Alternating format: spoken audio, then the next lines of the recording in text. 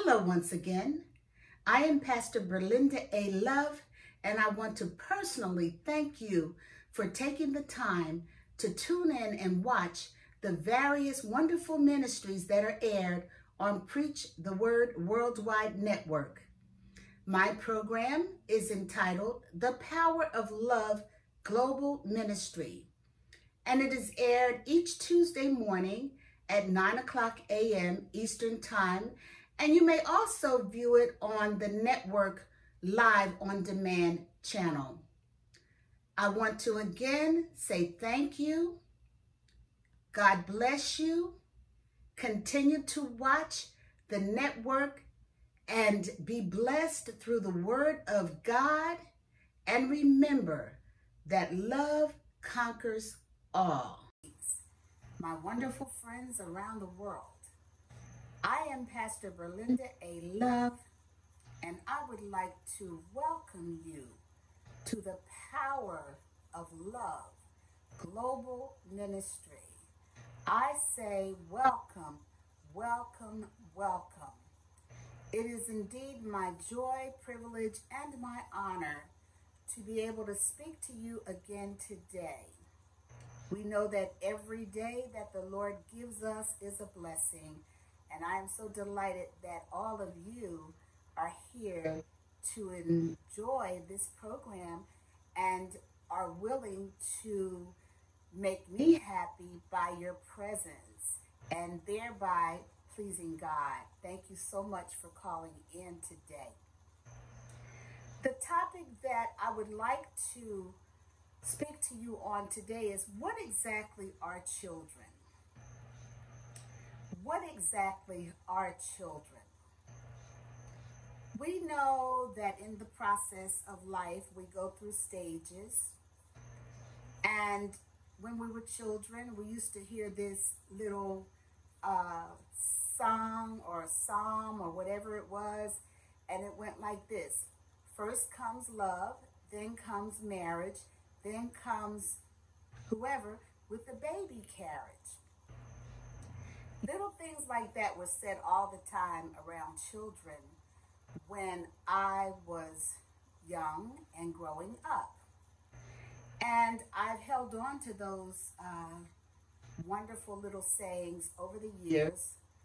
Um, I have never forgotten them. And so on my heart today, it was laid to speak to you about children. What exactly are these little things that we carry in our wombs for nine months, bring into the world, and have to raise and care for for a number of years? God only knows how many. But while we're going through that with children, and everybody listening in today has had some kind of uh, relationship with children, either at home, on your job. They did not have to be children that you brought into the world. They could have been children in your family, children that you taught, children at your church.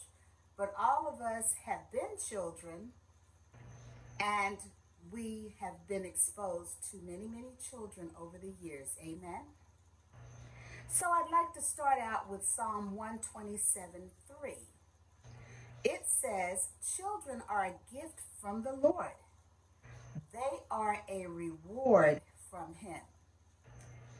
Now, that says a lot. Um, it says what we need to hear about children because they are truly a gift from God even though they may be misbehaving at times or causing you um, undue stress, they're children and they're going through stages, and we all went through those stages, and we know all about causing stress and headaches on mom and dad. But the Bible is telling us that these little children that can be causing us all of these problems are truly a gift from God and a reward from Him. Let me give you an example. As we get older, Our bodies tend to get more feeble and weak until we reach the point where we can no longer care for ourselves. And then something happens in the family called role reversal. And our children become our caregivers. And that is one reason why it is so important that we demonstrate and show them love as they're growing up so that when we need them, they will in turn show us love. And that will be our reward. That will be what God intended for it to be when He gave the children to us. Amen. And there are some other scriptures that um, I'd like to share with you as well. This one says from Isaiah 54, verse 13 All your children shall be taught by the Lord, and great shall be the peace of your children. So, as children are growing up, we want them to have peaceful life, a good life, a life away from trouble. So many times, young people are involved in the wrong things, particularly when they get away from home and under the direct supervision of their parents and loved ones. They can be easily influenced by their peers, especially in school because everybody wants to have friends. So it is so crucially important that we have Bible studies with them at home, that we talk the right talk around them, that we walk the right walk. We demonstrate to them the godly life that we want them to exhibit when they are not around us. Amen. That is when it's so important. It's important for them to be able to stand up against the wiles of the devil when they're out on their own and you can't be there to pull them up when they fall. Amen. That takes a strong constitution and it takes a lot of hard work from parents, aunts, uncles, cousins, uh, the village to get a child in the proper frame of mind so that one day they'll be able to be independent, wise, and smart. And I especially put wise before smart because the Bible also tells us that wisdom is better than knowledge. You can always get knowledge, but wisdom is something that you have to have all day and all night long. It's something that you may need spontaneously, and you don't have to go anywhere to study or read about it. It's something that's already ingrained in your soul from the way you were brought up and trained. Amen. So it goes on to say that great shall be the peace of your children. So when children are taught by the Lord, and sometimes they will stray. They're human just like everybody else. They're prone to make mistakes and fail. However, they will come back one day if they are trained up in the way that they shall go. The Bible tells us they will not depart from it when they get older. Amen. Something always makes them come back to their original training. And so that's really, really important that we give it to them while they're young because this is when their minds are more acceptable to learning and understanding. The formative years, the elementary years, the youngest years are when their minds are shaped and formed. And so we have to be prepared to uh, do that work early so that later on we can have peace and this is saying, Great shall be the peace of the children as well, because they won't stumble as much. They won't make as many mistakes, uh, because we know that some mistakes are easily corrected and others are not. So we try to protect them and shelter them from all hurt, harm, and danger. And everyone knows that you cannot be with your child around the clock, 24 hours a day. So when they go out into the environment, um, they're prone to meet up with all kinds of situations. But when they're taught by the Lord, they can handle them a lot better. Amen. So let's see uh, the next scripture that I want to share with you about children. And I already said that train up a child in the way he should go, even when he is old, he will not depart from that. And I already explained that, but let me just emphasize again. Um, sometimes we think that children have gone astray, they're lost, like the prodigal son. But we have to understand the prodigal son realized that he was lost and he made a decision to go back home just in the nick of time so that he would not have to live with the swines and eat from the pigs' um, food and be broke with no money and no friends. We know that sometimes when you don't have any money, you don't have many friends. So um, after doing all that partying with friends and losing everything, he realized that his best place was back at home. Amen. And when he went back, he was welcomed with loving arms by his father. So we have to understand that children are not infallible. They are learning as they grow. Um, they experiment a lot, which causes them to sometimes get in trouble by doing things around the house that could be dangerous or trying to take things apart and fix it and uh, doing things like that. They have an interest in a lot of things that they really don't understand. And so the hence the reason for parents to um, govern them and to protect them and keep them safe until such time as they know how to protect themselves. And that's a hard job. It takes a long time to uh, finally say that you were successful in raising your children.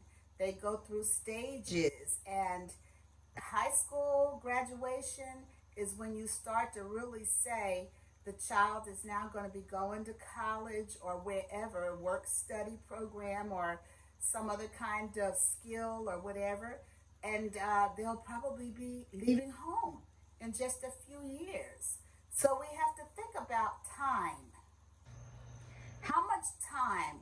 What exactly are children? What are they made of? What is their constitution? How do they work? How do they think? Um, we know that children are very honest people. They say what's on their mind. It just comes out like they feel it should. And uh, we could take example from them because they are truly, most times, very honest people in what they say um, spontaneously. So they're wonderful people. If you watch them, they don't have any cares. They don't let things bother them too much unless they're feeling ill um, or have some childhood disease or something like that. But most of the time, they're just happy playing outside, riding their bikes, roller skating, um, watching their favorite movies on TV, getting on the computers and and cell phones and other I call them toys. Um, and even if they're for adults, they're really adult toys. Amen. So as long as they're occupied, they really aren't much of a problem. It's when they're bored and when they don't really have anything constructive to do that they begin to act out. And this is true in school as well. All the more reason why parents have to make sure that they have things to keep them busy, both in the home and when they're out of school. okay? And their lives will be more enriched if they are doing extracurricular activities. Amen? And now we're in a stage where we have to be very careful where we allow children to go. But I do believe that things will get better and eventually we'll be back to where we were. So now that means we have to prepare more for them to do at home because they can't get out as readily as they did before. So then Matthew 19 14 says, Jesus said, Let the little children come to me, and do not hinder them, for the kingdom of heaven belongs to such as these. So, what that is saying is that don't keep the children from coming to the Lord. Don't hinder them. Um, be with them, work with them, labor with them, help them, teach them, guide them, because the kingdom of heaven belongs to these little innocent children that have children's minds, although sometimes we think they're being a little bit too big for their britches, they used to say. Basically, children think with a child's mind unless they are extremely gifted and uh, thinking way above their age, as a lot of children are today. So, what does it mean? Heaven belongs to such as these. To me, that's saying that we have to be more like children sometimes. We must have that humble spirit um, like a child would have, especially when we are approaching the Almighty. You know, we should come before God in a humble spirit, not haughty, not demanding, not, um, you know, being so above ourselves, but in a humble way approach the throne of grace so that we understand that God is truly above us. He's our creator. He's our father. He's given us everything that we need. So we must be as children before him because we are his heavenly children. Amen. These are so wonderful, these verses in the Bible that I'm sharing with you. Um, and now this one I really love. It says, Proverbs 17, verse 6 Children's children are a crown to the aged, and parents are the pride of their children. And I was speaking to you earlier about the role reversal. Your children will be your crown when you get old. And much of that depends on how you raise them now, how you treat them, how you talk to them. Everybody deserves respect. Even if you have to discipline a child, you discipline them with love. And they must understand why they're receiving that discipline before it is done. So that, you know, they know that, you know, they deserve whatever it is and you know, that's the price they have to pay for being, uh, quote unquote, unruly.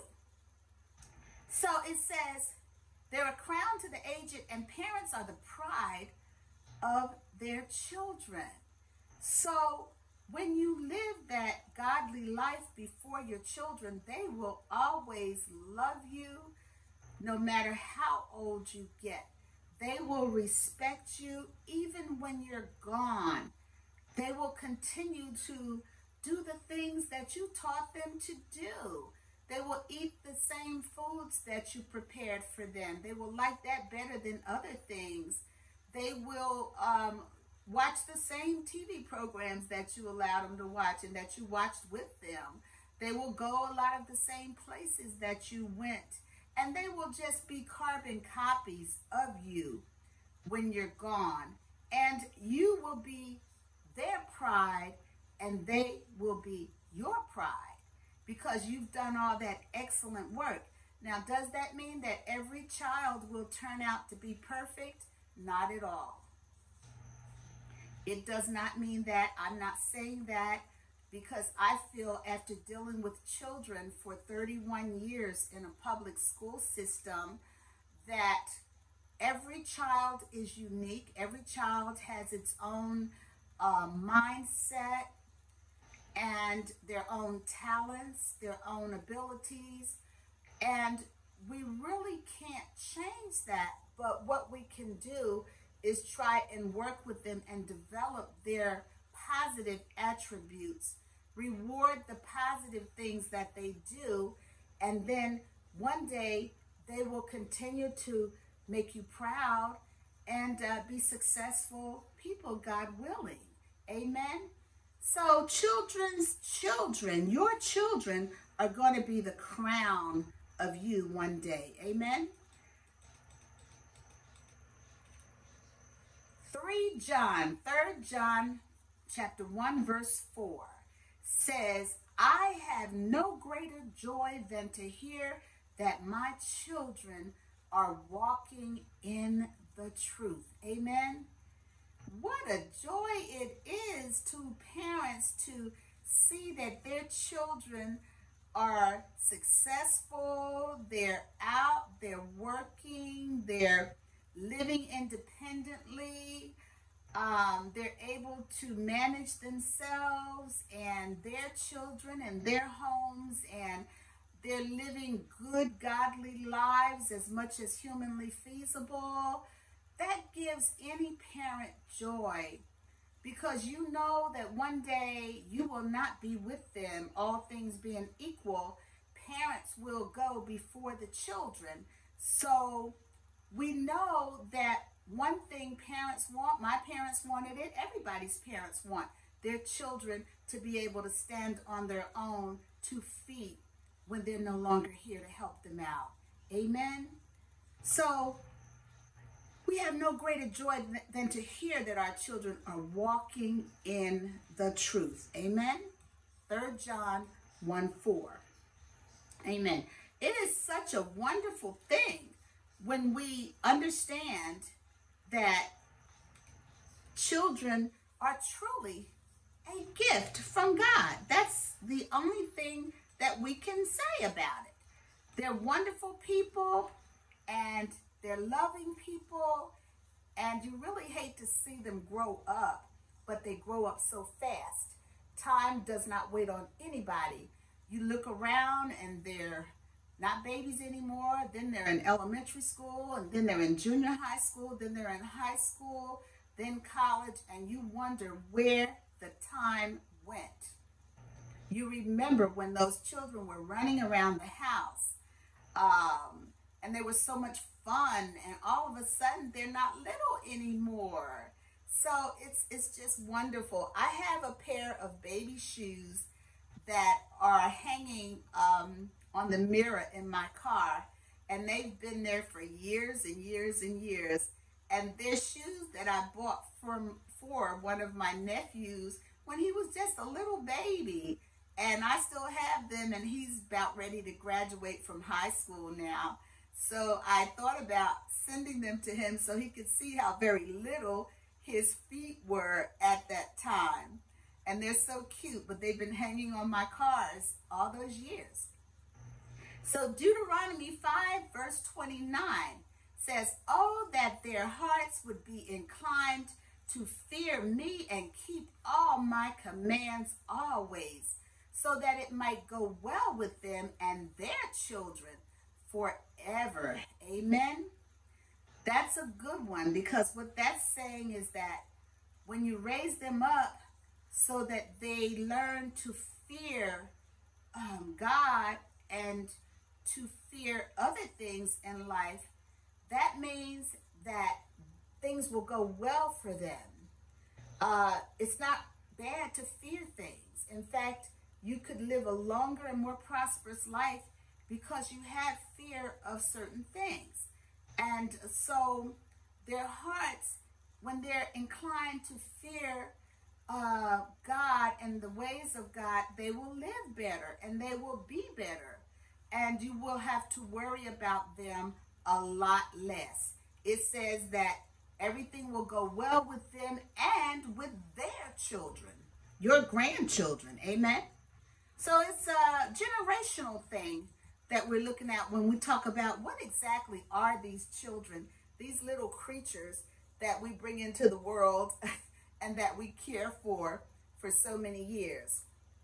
And there are other um, scriptures that speak to parents also, such as Ephesians 6 4, that says, Fathers, do not pro- provoke your children to anger by the way you treat them. Rather, bring them up with the discipline and instruction that comes from the Lord. So, um, what that is saying is that, you know, when we discipline with love and not anger, um, children are more acceptable to what we are trying to show them and teach them. Um, and we're teaching it from the Bible. We know that God is love and that God said because he loves us, we should love everybody else. And that includes our children, especially our children, because you want your children to love you. You don't want them to um, be fearful of you 24 hours a day. That's a tough life on a child to be afraid to go home from school or to be afraid that they're going to be punished every day for little itty bitty things. Um, and it happens and it has always happened. But God wants us to show love and mercy to children just like we as adults want Him to show His compassionate love towards us. Now, Matthew 18, verses 1 through 3 says, At that time the disciples came to Jesus, saying, Who is the greatest in the kingdom of heaven? And calling to him a child, he put him in the midst of them and said, Truly, I say to you, unless you turn and become like children, you will never enter the kingdom of heaven. Amen. So children are these little innocent creatures, really.